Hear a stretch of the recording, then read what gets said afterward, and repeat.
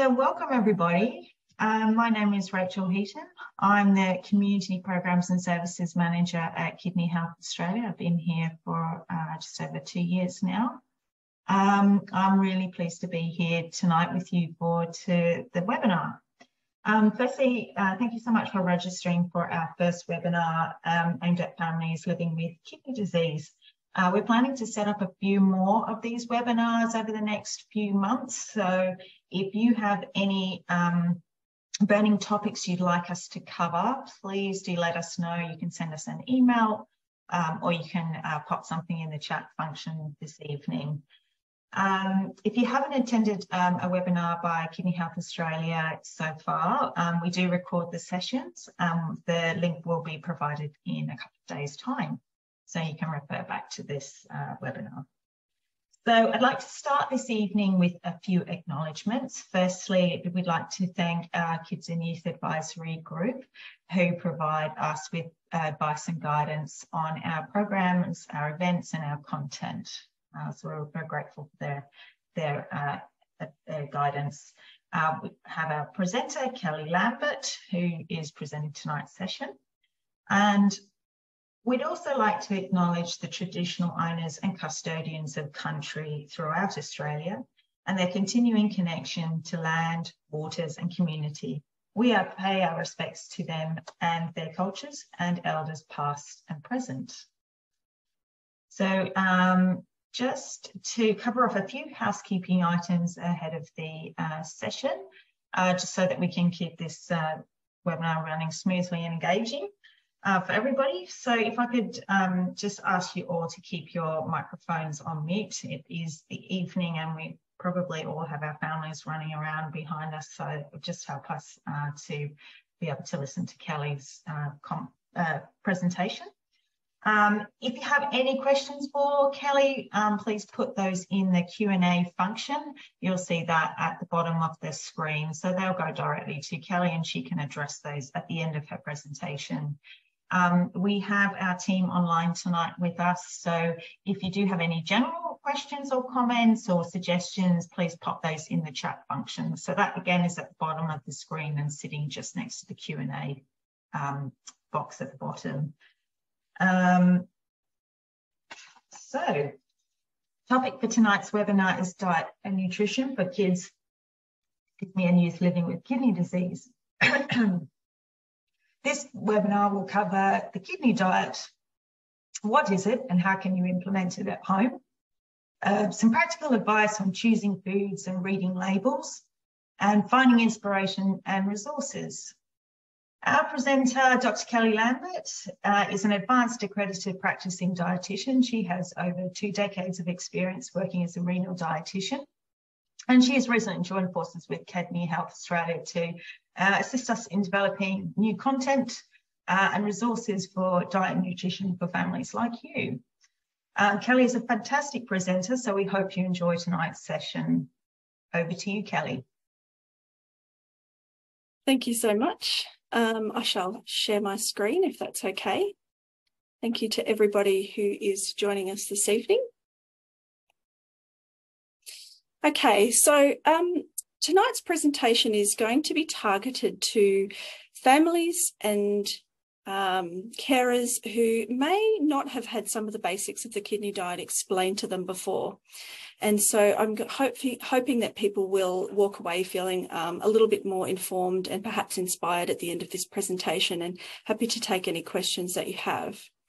I just wanted to also just mention that I am a member of the KHA Clinical Advisory Committee and I have received consultancy fees in the past, but they have no impact on the presentation this evening. And I don't have any issue with people contacting me via email after the presentation if they've got some queries or questions. I can't give individualised advice, but I may be able to point you in the right direction uh, for various issues that you may have. So when I was thinking about this presentation, what I was hoping to do was to provide you with some knowledge about the kidney diet, first of all, especially if you've never seen a dietitian before, uh, provide you with some practical advice that you could take home and apply today or tomorrow if you have a child that has uh, kidney disease. Uh, give you the opportunity to ask those dumb questions that maybe you've never um, had the opportunity to ask before and uh, I'm very happy to answer any of those and also provide you with some uh, direction about where to get information. Um, so this is not meant to be a substitute for individual advice for your child. Um, and I'll explain why that is a little bit during the presentation. And not all kids will need to make the changes um, that we discussed tonight. And I also wanted to acknowledge that it is really tough being a parent. I have a child who has a, a chronic condition, uh, not kidney disease, but sometimes it's just really hard. Uh, and I do appreciate that kidney disease doesn't just impact your child, but also the whole family and the activities that you do. There's also a lot to learn about the diet prescription, um, and there's various changes along the way, and sometimes it can be very confusing, and that's okay if you're feeling a little bit confused. And I also wanted to, um, I guess, stand with you in, so in solidarity and, and do understand that kids just want to be kids sometimes, and and being a parent and manipulating what they eat can be very challenging. So let's start with the kidney disease basics. Now, you may have never heard some of these terms before, and I would encourage you to next time you speak with your doctor, ask um, your doctor about the stage of chronic kidney disease that your child may have.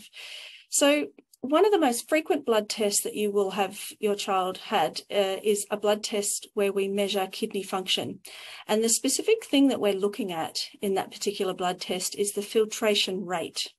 And we uh, measure it uh, indirectly, and that's why it's called estimated glomerular filtration rate. And you sometimes may hear doctors or dietitians or nurses talking about the GFR. And the reason that that's important, particularly for dietitians, is because the diet that you prescribe for your child and for adults with kidney disease is actually dictated very much by what stage of kidney disease you may have. So on the screen here, we've got a nice visual that shows that when you have stage one kidney disease, your filtration rate is around 90 mils per minute. So that means that those little filters in the kidneys are working really well and they're filtering around 90 mils of blood per minute. As you work through those stages, particularly when you get through to stage five, where your kidneys are working at less than 15 mils per minute, the problems um, start to accumulate as your kidney function changes. And one of the major problems as your GFR goes down is that your ability to excrete things like potassium and sodium and phosphorus and water become impaired. And that's why we have to manipulate those particular nutrients if your kidney disease has come to that stage. And again, when you start dialysis or you have a transplant, the diet also changes as well. So one of the things I would like you to walk away tonight is knowing and asking your doctor, what stage of kidney disease does my child have? And checking on that periodically just to see where you're at. Because if your child does change stages of kidney disease, then it is worth catching up with a dietitian to uh, provide some updated information about what they should be eating. So when a dietitian prescribes a diet for a person with kidney disease, we do three things. The foods that we tell you to eat are used to prevent future problems. So, for example, we may be looking at preventing diabetes or high blood pressure. The foods that we tell you to eat may be used to help manage some of the symptoms that your child may, may be experiencing. So, for example, if they're feeling terribly nauseous and they have lots of aversions to foods like meat, um, then we may prescribe a specific um, range of foods to help manage that. Uh, we also prescribe specific diets to help manage things like high blood potassium and high blood phosphorus. And we also prescribe diets um, to try and manage some of the side effects of treatment. So, for example, if a child or an adult was to undertake dialysis, then we need to change the diet a little bit so that we can counteract um, some of the side effects that occur, like the accidental loss of vitamins or the loss of protein that can occur during that process. And most importantly, when a dietitian is looking at a child's diet, we're hoping that we can help uh, facilitate their growth most importantly. Um, so there's a couple of, you know, very important things that we'll be managing when we prescribe a diet for a child with kidney disease. So what is the renal diet or the kidney diet? Well, it's not like a diet for diabetes or a diet for a food allergy. There's not actually um, a diet that's set in stone, and that can be what causes the most problems for people. And what that means is that the diet that we give you is actually individualized to that child's stage of kidney disease and any other conditions that they may have, as well as their age. But there are some things that are in common with that kidney uh, diet, regardless of the stage that you're at. And these are the nutrients that are listed on the screen here. So when a renal dietitian is looking at a person's diet, we're thinking about manipulating the amount of protein. We want a diet to be low in salt. We want it at various times to be low in potassium. Not everyone needs that though. Uh, if you're towards the later stages of kidney disease, we are going to be manipulating the diet so it's low in phosphorus and it's sometimes heard as phosphate. We are definitely manipulating the diet for fluid as your um, kidney disease progresses. And then we've got other things we're looking at like vitamin D and calcium and calories. So it's a, a diet prescription that can be very complicated, especially if you do have other kind of reasons to restrict things like a food allergy or celiac disease or diabetes. So it's not something that you should just download off the internet and follow because it's very individualized to the child's age and stage and any other conditions that they have, and also any other medications that they may be taking as well. So what I've been talking about so far are actually nutrients. And we know that people and kids in particular eat food and not nutrients. So what I'm hoping to do is to translate some of the information about the kidney diet into advice about food. And I'm going to focus on four key elements of the kidney diet that I think generally we do really badly. We're so fixated on talking about those nutrients that we forget about foods. So here's my first message. Regardless of the type of kidney disease they may have or the stage of their kidney disease they may have, all kids need to eat fruit. There's no reason to be avoiding fruit. Even if a child needs a low potassium diet at some stage, they don't need to eat fruit. What's important though is that people understand what an appropriate portion size might be for a child.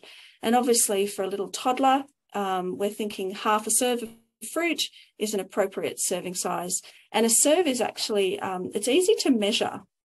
So when we refer to a serve of fruit, we're generally referring to an adult's palm size. So what you could fit in the palm of your hand. Um, and if it's a child's palm, then it would be kind of half of that. So for a child that's four to eight years old, we generally want around two handfuls or palmfuls of fruit every single day for good health. There's so many reasons apart from long-term health that we need kids to be eating fruit, especially when they have kidney disease. And one of the best reasons is that having an adequate amount of fruit helps counteract some of the excess acid that accumulates in the blood of people with kidney disease. So they actually work like a drug in some ways. And what I'm showing you on the screen here is that all fruit is good, but when you've got kidney disease, some types of fruit are better than others. And this is particularly the case if you have stage three, stage four, or stage five kidney disease. And that is because at those stages, it's possible that potassium in the blood is starting to become a little bit high. And that's where we might have to implement a low potassium diet.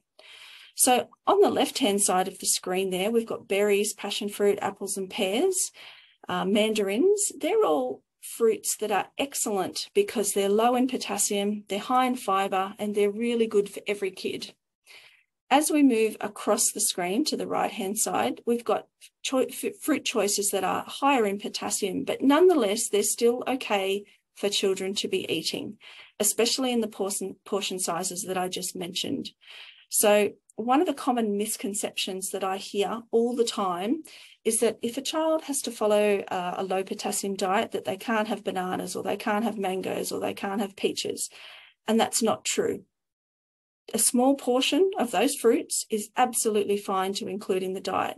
What's more problematic is when kids eat lots and lots of dried fruit. And that's because dried fruit has lots of potassium. And when you eat large amounts of it, it accumulates.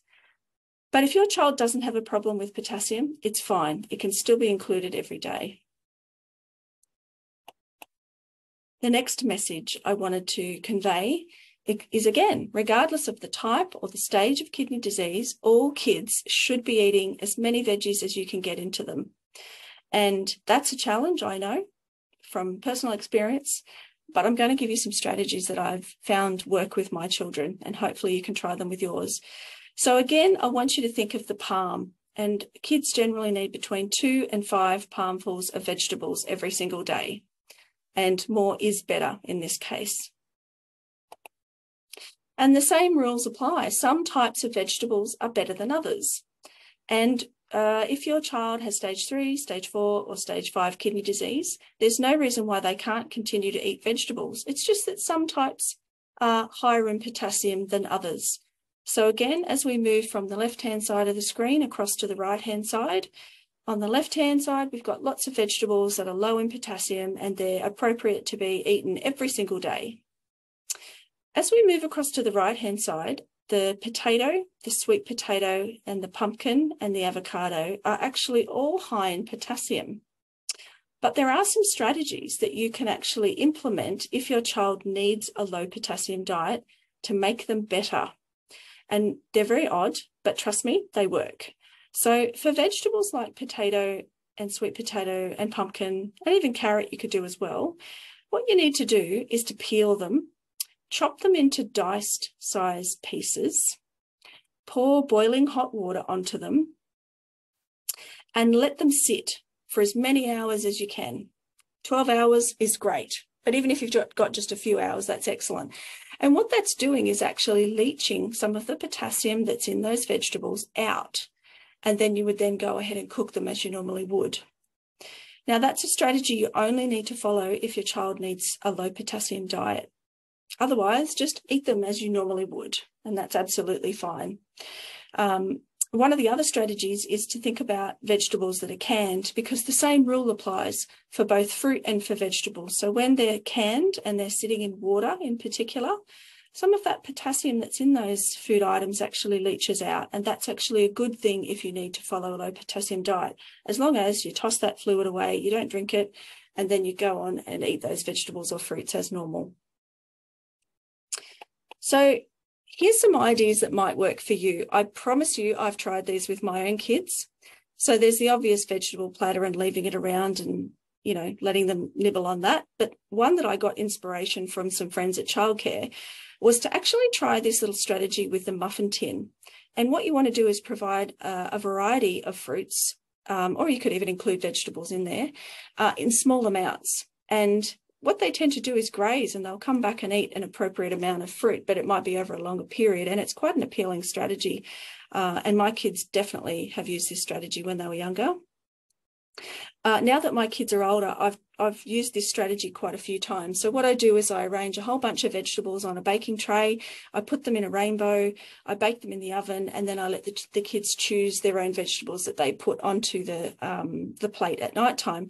And what tends to happen is they want to make their own rainbow on the plate, so they tend to eat a greater variety of vegetables. And then the strategy that um, I didn't even realize was working was one that my daughter asked me about last night. So what I've been trying is to have some um, dinners where they're in the form of, um, I think they're often marketed as Buddha bowls or super bowls. Um, and so last night's dinner was something that my daughter wanted to make. And it was uh, a bowl with some rice and then a combination of different vegetables. So we had shredded carrot, we had chopped up cucumber, uh, we had some cabbage, we had some broccoli and some corn, and we had some meat.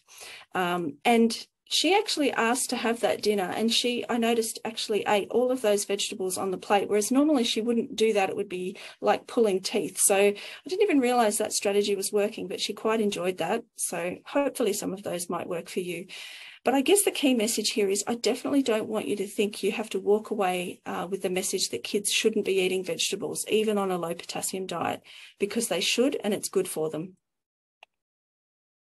okay Moving on to the next message. Now, one of the key areas for children with kidney disease that we do incorrectly is that we have children that eat portion sizes of meat, chicken, and fish that are much too large. And there's a problem with that. So when you digest meat, chicken and fish, eggs, baked beans, dairy products, they're all sources of protein. And when you have a diet that has too much protein, it actually makes your kidneys work harder because they have to filter the byproducts of that metabolism of protein. And that's the one thing we don't want kidneys to be doing when they're already struggling, and that's working harder.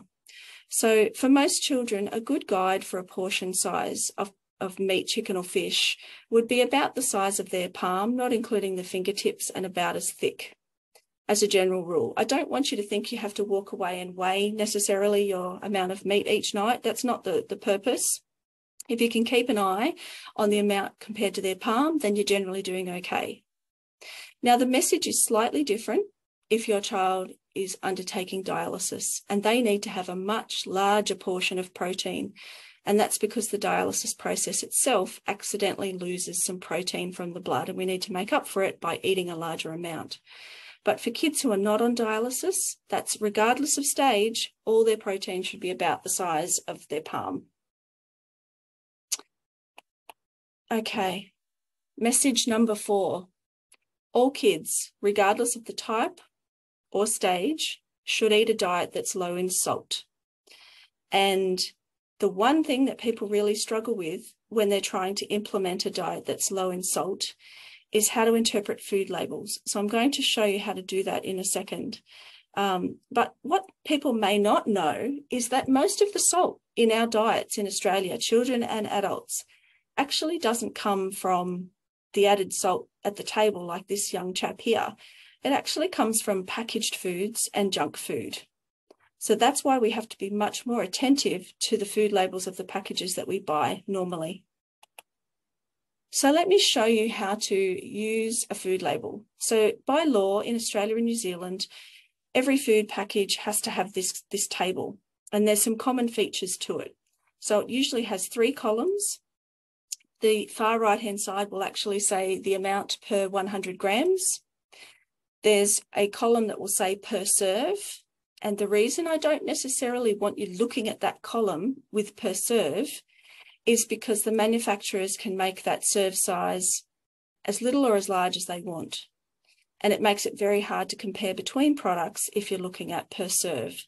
So we want you to look at the content per 100 grams. And for the row that says sodium, a product that is low sodium by law is actually less than 120 milligrams per 100 grams. So in this case, the product has 280 milligrams, which is more than that cutoff that we want it to be. And so therefore you might look for an alternative product if there is one. Now, I don't want you to think that you can never have products that are greater than 120 milligrams per 100 grams because that would eliminate products like bread. And bread is a perfectly healthy food for your child to consume. But what we do want is for the other products in the diet that may not be so healthy or that may be uh, consumed as condiments or maybe they're discretionary foods to have a much lower sodium content if you can. So I thought I'd provide you with some practical examples here. So on the screen, we have three types of wraps. I've used all of these with my children and I happened to be looking one day because one of the brands wasn't available. And I'm not necessarily referring to the Mission brand, but wraps in general. And when I wear my dietitian hat, I would traditionally actually say, I want you to have the one in the middle because it's whole meal. But I want to show you something that might be surprising for you because the best choice is actually not the one in the middle it's actually the one that's in green. So um, I just told you to compare using one per 100 grams. So that's the general rule. And when I looked at per 100 grams, um, the green one was the best by far. But I also wanted to show you the difference this makes practically. And I'm using the per serve here to demonstrate the point. So if I told you that we want your child to eat less than 2000 milligrams of sodium per day. Not that I'm saying you need to track this, but that's the goal. We want children to have less than 2000 milligrams of sodium each day. Just the difference between the white one and the green one is actually really substantial. It's 374 milligrams of that 2000 milligrams in a day that you're supposed to be having. And not only that, you're getting an extra five grams of fiber by choosing that one on the far right hand side. So it really does pay to have a look around at the labels of the foods that you normally eat because you could make some really good savings of sodium. Let me show you another one. So we've got three types of cheese here. And we've got on the far left hand side some regular block cheese, which has about 196 milligrams per serve here. Um, and that's the same for all, all hard cheeses. They're all around the same amount. But then have a look at what happens when you move to the right hand side. Something like a cherry bocconcini actually has far, far less sodium. And that would be a good choice for a child to have. It's, it's nourishing, it's low in sodium, and it'd be a great choice. And if we think about it, you've actually saved yourself another 150 milligrams just from choosing a different type of so, um, cheese there. And finally, tomato sauce. If it's like uh, my household, uh, we consume a lot of this stuff. But I want you to have a look at the differences here. So just choosing a different brand may actually save you heaps and heaps of sodium. So the difference here is about 119 milligrams if you chose the one on the left-hand side as opposed to one in the middle. So just those three food groups, we've saved a, a substantial amount. I think it was around 700 milligrams or thereabouts of that 2000 milligrams that we're trying to keep under. So that's a really substantial reduction in sodium just by making the three appropriate choices. Now, one of the questions I often get is, well, which one should you look at? Which one's more important, sodium or sugar or fat? Well, for kids with kidney disease, unless there's a reason like diabetes that you, you need to look at the carbohydrate in the food, please just look at sodium. That's the only one I want you to look at for the time being. And you can make some really important healthy choices by just switching to lower sodium versions.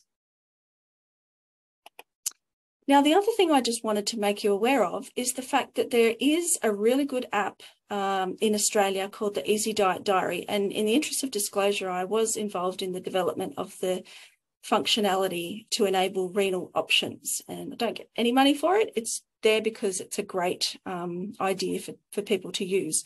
So what this app does is it, it has a very large database of Australian foods at the back end of it. And what it allows you to do is to not only look up a food, and you could look up the potassium content or the sodium or the fiber or the fat, um, but it also allows you to keep track of a, a, day's worth of food or a week's worth of food if you really wanted to do that. Um, and then you can actually send that food record through to a dietitian and they can have a look at the analysis and tell you whether they're, you're doing okay.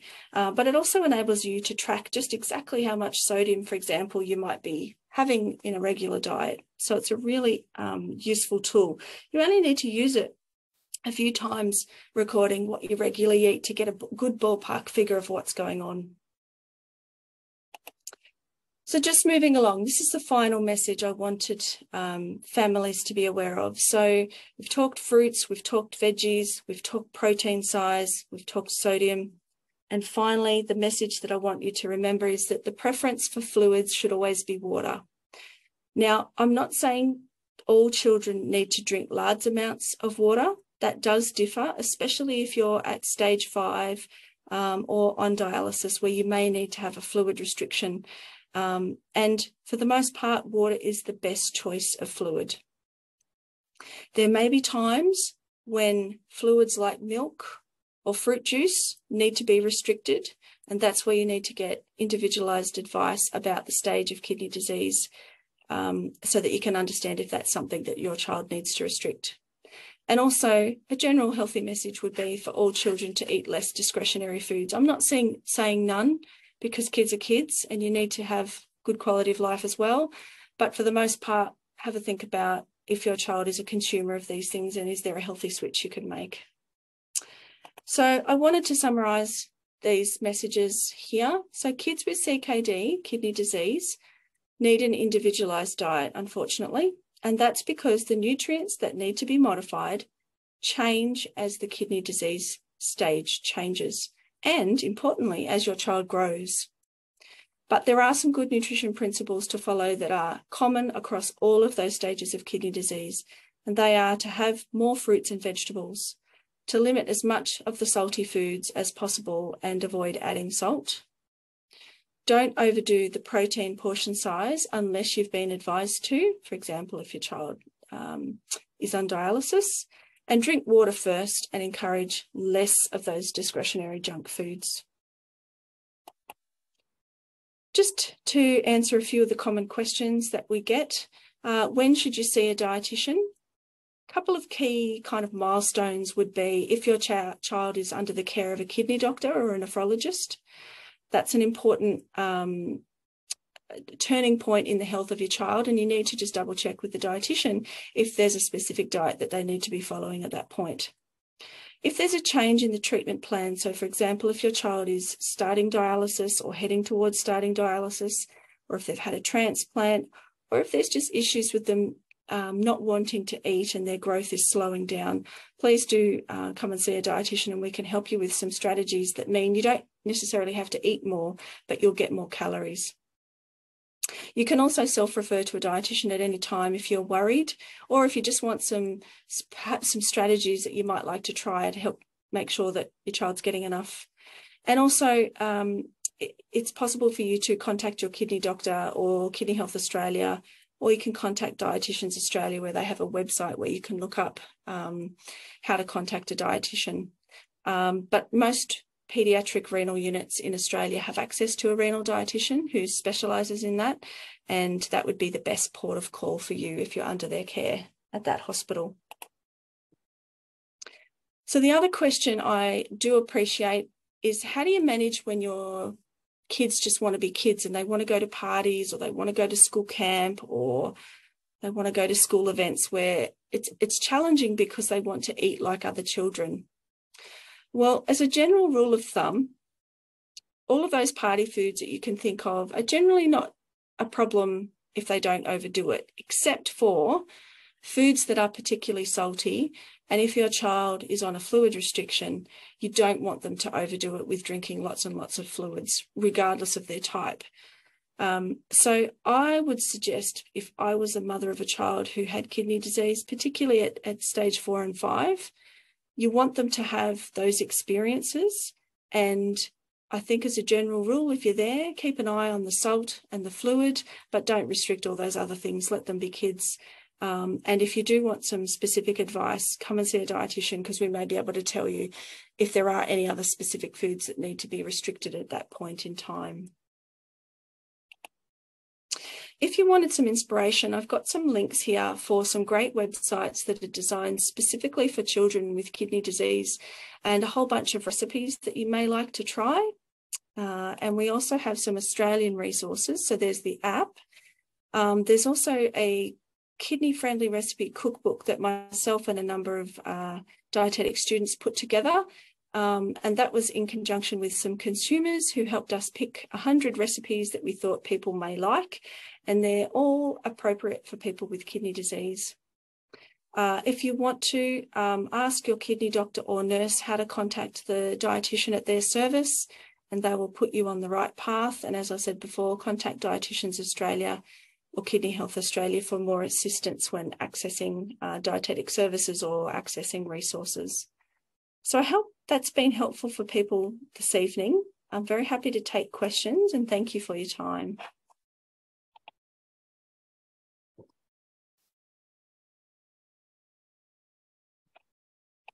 Thanks. Thanks, Kelly. So I'm just uh, getting myself back on screen here to join you. Thank you so much. That was really informative.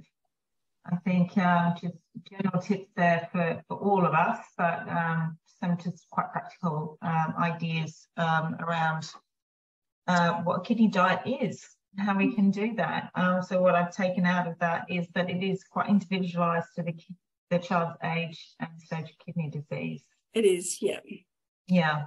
And it, it makes it interesting and challenging because at various points in time, we may actually relax some restrictions. Um, so, for example, if your child wasn't eating so well, um, one of the things we might suggest is actually to have more sugar and have more fat So that means that we might be actually prescribing cakes or milkshakes or cordials or soft drinks to actually get extra calories in. And it sounds crazy, but that's actually a very effective strategy if your child's not eating. We want calories, but they just can't be in the form of protein.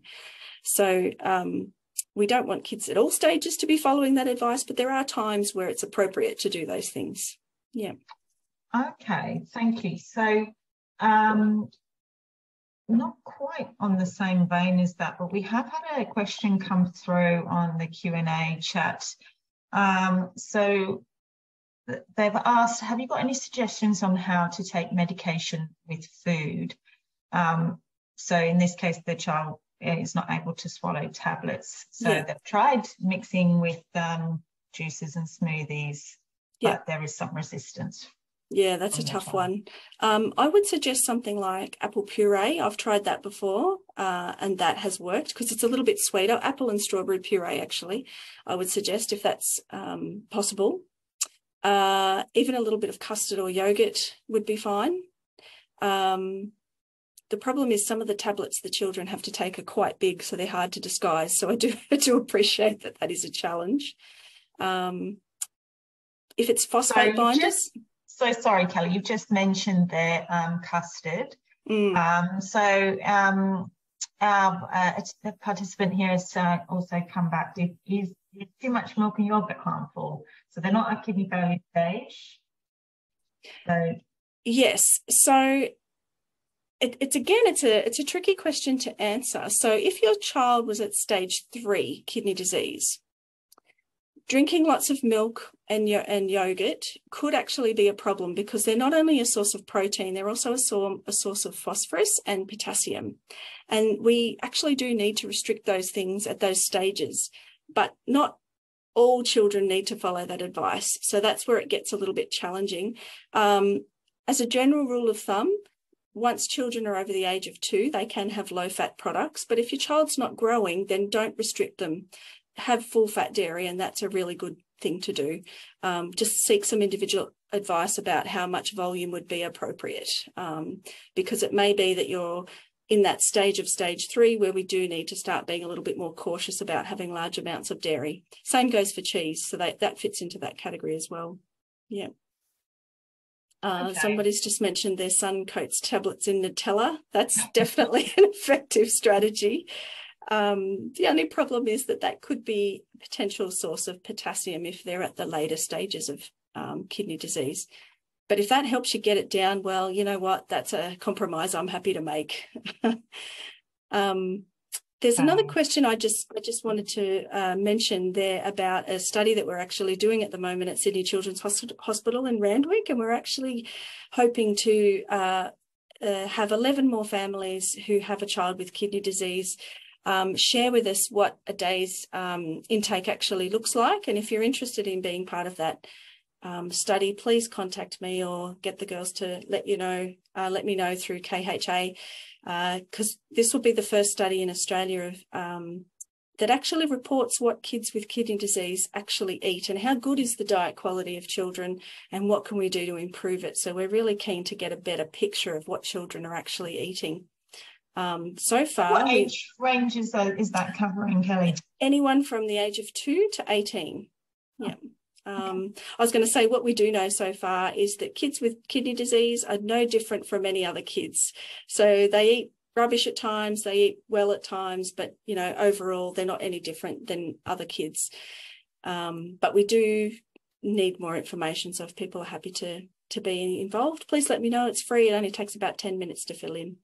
Yeah, oh, okay, wonderful. Um, and as Kelly said, you can get in touch with us, um, uh, Kidney Health Australia, and we'll pass on uh, your uh, interest to Kelly. So you can get in touch with us um, at kids at uh, kidney.org.au, uh, mm-hmm. and we'll put that in the chat function.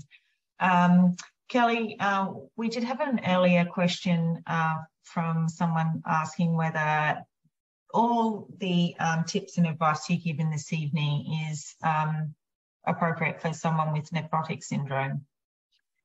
Yes. So, in general, a child with nephrotic syndrome needs a diet that's restricted in protein. So, having large serves is a bad thing. Definitely reduce salt. Uh, depending on the medications that they may use, we may need to restrict potassium and they may also need a fluid restriction. Um, but that's a very challenging time. And so I would seek some advice from an individual, uh, a dietitian, because there may be additional things like getting extra calories in that might be important um, that we might need to, to factor in. But the key message there would be when a child has nephrotic syndrome, they are losing lots of protein in the urine and we need to replace that to some extent, but we don't want to overdo it. So we don't want large amounts um, of, of protein being served to children at that point. Okay. Good question. Okay. It's a tricky one. Yeah. A tricky one. Yeah. Mm. Okay. So certainly not um, having more than, as you said, the, the palm size amounts of protein, but yep. yeah, more management yep. required with that. Okay. Um, I think um, one of the questions we did have in the lead up to this um, webinar was when looking at food labels, and I think you've really covered this, what's the lesser evil, sodium, saturated fat, or sugar content? I think your message was. Look, sodium has effects that are very immediate. So when you have a diet that's very salty, it increases your blood volume, and therefore will increase your blood pressure. And for most kids with CKD and kidney disease, we don't want them to have higher blood pressure. It just makes the kidney work harder. Um, the saturated fat is more of a problem in the long term. So that's not deleterious or, you know, a problem for, for kids with CKD in the short term. The sugar is a challenging one because at various stages, as I said before, we may want kids to eat a little bit more sugar because it is a source of calories. So I wouldn't demonize it. It's not necessarily a bad thing. Uh, it just is more more of a priority to focus on the sodium for sure. Yeah. Okay. Thank you. I think that's that's definitely answered that question. Um, I don't think we have any more questions in the Q and A's. Um, mm -hmm. Uh, unless any of our attendees have any other burning questions you'd like to ask Kelly, we can take you off mute um, if you prefer to chat to her directly. Can I uh, just raise something that maybe people who are watching the recording later might find useful is that there may be times when you have a child who's got kidney disease and they're not eating well that you may get advice to get them a nutrition supplement. So what I mean by that might be a specialized milkshake drink that has extra vitamins and calories and minerals. And there's two messages I want to convey to the people today. The first one would be don't just go and buy one off the shelf at a chemist. And that's because some of them can be very high in potassium and can be a problem for children if you choose the wrong one. The second one message I want to convey is that dietitians um, across Australia have prescribing rights. So we can generally get those supplements at a cheaper price. So it is worth investigating if a dietitian can help you with that because they can be very expensive and you may need to follow them for a good chunk of time. And, you know, if we can help reduce some of those costs, please let us help you. Uh, and we've also got access to a greater variety and we can give you some samples to try if that's helpful. Um, there's also no need necessarily for your child to have a, a multivitamin for good health or just to be, you know, you know, uh, I think sometimes people want to take a vitamin just to make sure, but that can actually be harmful at various stages. So only take a vitamin supplement if the doctor's recommended it or a dietitian suggests that it's necessary because some of those vitamins um, that are in kids' multivitamins can actually accumulate and be a problem, especially if you've got kidney disease at stage three, four, or five. So that does need individualisation again as well. So thank you for giving me that opportunity to say that. No, thank you. Yeah, that was that was well said. Thank you, Kelly. Um, I don't think anything else has popped yep. up. So um, we will make a, um, this recording available um, in, in, the next few days. Um, and if you afterwards think of an, another question you would like to ask Kelly, please send them through to us and we'll, we'll um, liaise with Kelly and have those answered for you. Uh, in the meantime, I think Kelly is, is happy to share the presentation um, with uh, the attendees tonight so that you can have a copy of that uh, in the next couple of days as well. Mm -hmm. um, uh, so just in closing, um, Kelly, thank you. You've been a fantastic presenter tonight. I think you've answered a lot of our questions. uh, and made that uh, very engaging and very simple to understand and follow. Thank you for that. Um, thanks to the team online for helping uh, keep the, the session running so smoothly. And thank you to everybody who's um, given up their evening to join us this evening to learn a bit more about diet and nutrition for uh, kids living with uh, CKD. Um, I think that's it for, for us. And we'll look out for uh, more webinars uh, coming uh, up in the next couple of months. Again, if you have any suggestions, please let us know. We'd love to hear about what, what topics you're interested uh, to, to find out more about. Um, uh, if you have a moment, we'd be really grateful if you could just stay online and answer a short survey. Uh, but once again, thank you for joining us this evening and we will sign off. Thanks, Kelly.